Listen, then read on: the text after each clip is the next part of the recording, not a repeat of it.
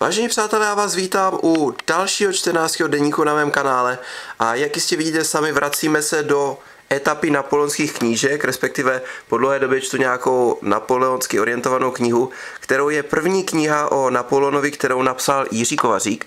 A jak vidíte sami, je to první italské tažení 1796 až 1797, což není tak úplně pravda, protože v podstatě vzhledem k tomu, že to je první kniha, tak se věnuje pan Kovařík Napoleonovi od jeho narození přes Toulon až po to, jak rozflákal dělama já vím, že to neříkám úplně přesně. A každopádně ty nepokoje v Paříži až nakonec dostal velení italské armády a to, co se dělo mezi lety 1796 až 1797.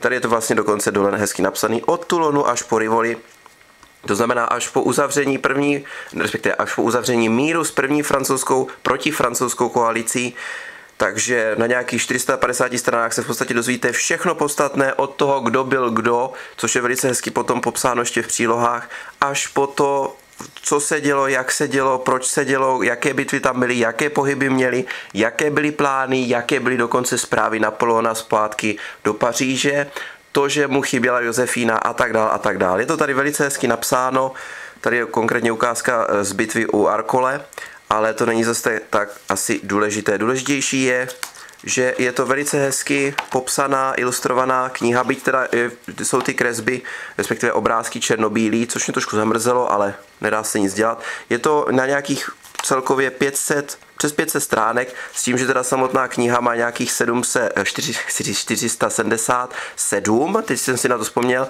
a těch zbývajících 50 jsou přílohy, kde máte jednak vysvětleno, kdo byl kdo, respektive co se s nimi stalo po tomhle tažení a potom, což je teda fakt skutečně už pro fajnšmekry, popsaný jednotlivý eh, například stavy rakousko-pědmonské armády k 20.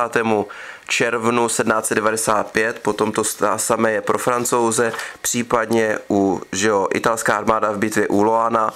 Jo, takový různý důležitý informace, který uh, vám rozšíří ještě obzor, jakým způsobem byly ty uh, informace, respektive armády, uh, řekněme, rozdělené na jednotlivé části a tak dále a tak dále. Je pravda, že vzhledem k tomu, že to popisuje celý to tažení, tak pokud neznáte italskou i severní část Itálie, co do jednotlivých míst a tak dále, tak budete velice zmatení. Protože tam je tolik hor, kopců, měst, vesnic, že pokud nemáte vedle sebe normálně atlas, tak jste totálně ztracení. Samozřejmě tady nějaký mapky jsou, i když samozřejmě, jak se znám, tak zrovna teďka žádnou nenalistuju, i se šípkama, který vám hezky popíšou, o čem se tam vlastně mluví v té knize. Faktem ale je, že i tak budete docela zmatení, ale tak to je asi typickou součástí téhle, eh, tohohle typu literatury. Jo? A tak to je zrovna to je zrovna jedna z bitev, která byla velice zajímavá, já to teda ukážu takhle, jedna z bitev, která byla velice zajímavá, byť byla malinkatá, tak musím uznat, že teda čest Rakušákům. Nebyli úplně zoufalí, když je pravda, že všichni tři, kteří si na Napoleonovi vylámali zuby, tak jako udělali pár hloupých, vlastně co říkám tři, oni byli čtyři konec konců, že jo, pokud ještě budeme počítat Karla na konci. Takže tak.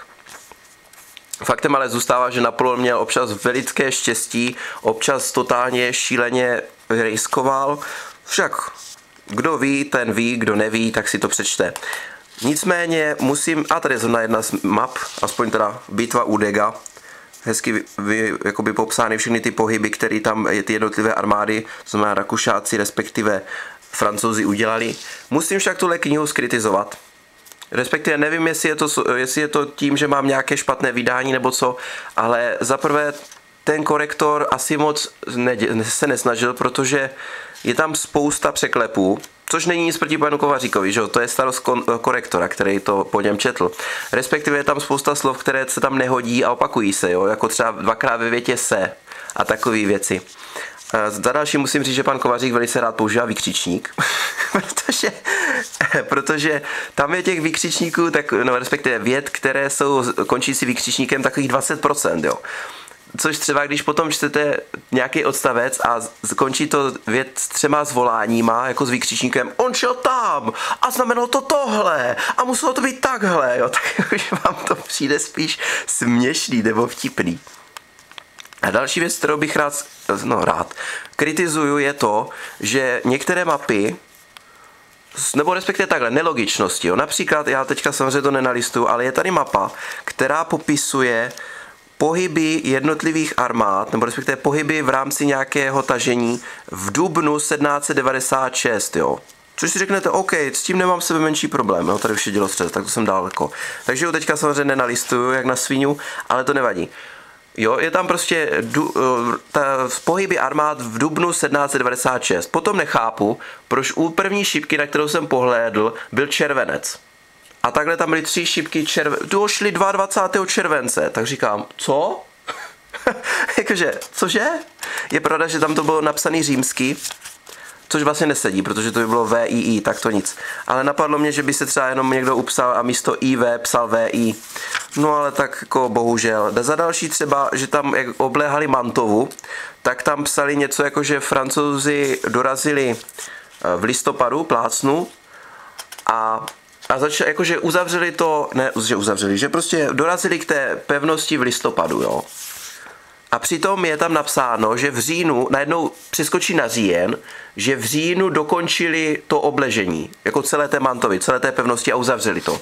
Tak si říkám, takže když dorazili v listopadu, jak je možné, že v říjnu už to měli celý uzavřený, jo? Takovéhle věci tam jsou. Což mě osobně mrzí, nevím, jestli to do nějakého budoucího třeba vydání upravili, nebo ne, ale prostě když to čtete, tak se z toho ještě trošku víc zmatenější, respektive vás to naštvo, naštve, protože to zkrátka nedává smysl. Jo, takovýhle věci. A je, je, to, je to zbytečná kaňka na téhle jinak velice zajímavé knížce. Byť je pravda, že začátek mě úplně nechytil. Musel jsem to odložit a vrátil jsem se k tomu, protože jsem tuhle knížku dostal na narozeniny minulý rok, tak jsem se k ní vrátil teprve teďka někdy v lednu, ale to už jsem se dostal k tomu Tulonu a samotnému tažení, takže tam to bylo super. Ten začátek mi přišel takový trošku zdlouhavý. Moc mě to nebavilo, ale potom, potom to nastartovalo. Takže pokud máte zájem o e, Napoleona, dozvědět se o něco o prvním italském tažení, tak rozhodně doporučuju se všemi těmi výtkami, které jsem k této knize měl. A teď už se konečně snad vrhnu na to, co jsem slíbil minule. Já vím, člověk míní, Jiřina mění, no, takže asi tak.